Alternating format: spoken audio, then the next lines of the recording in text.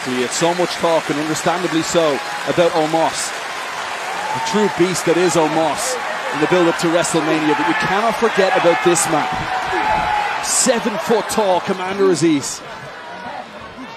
Oh. Benjamin out of the way.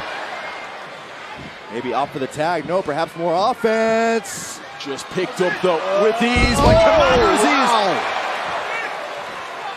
DDT delivered by Shelton Benjamin. Commander Azeez dazed and confused. But Benjamin's got a clear path if he can just somehow find a way to turn over and tag in Cedric Alexander. How experienced was that move from Shelton Benjamin? Again, that, that's what Shelton Benjamin brings to the equation each and every night. Just when you think he's out, he's got a little something extra in the playbook. Tag made on both ends. In comes Cedric Alexander. And to great effect as well. Alexander now unloading on Apollo Crews. He swings wildly but can't make any contact.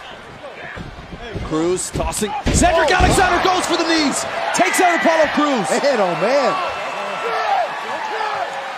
Praise look in the eyes of Cedric Alexander. Now from the oh. apron. Oh, traumatized your spine. Oh, he's stalking his prey here. He knows exactly where he wants to go, Cedric Alexander. Apollo Crews back to his feet. Cedric Alexander just picks him up, hammers him into the canvas. This could be it. Oh, Commander Azeez. And it not been for Commander yeah. Azeez, I'm pretty sure this match would have been over. Shelton Benjamin's not having any of it, but Commander Azeez, a big man, he takes a big blow to the jaw. Jesus right. Neuralizer finds the mark from Alexander. Quality tag team action here. And, and brilliant from the Hurt Business. Oh, oh, oh, all the way over. They get him out. He's still on his feet and going after Shelton Benjamin. Ouch.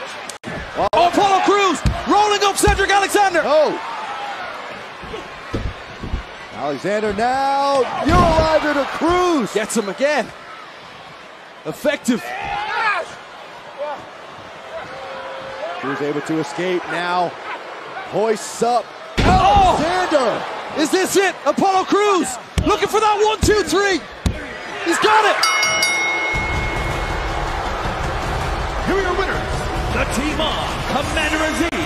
And Apollo Crews. What a chaotic tag team match this was between the Hurt Business, Commander Azeez, and Apollo Crews. Just take you back to one of the critical turning points. I think I think Cedric was looking for the lumbar check. You see there, Apollo Crews going for the eyes of Cedric Alexander, and that would be the precursor to this.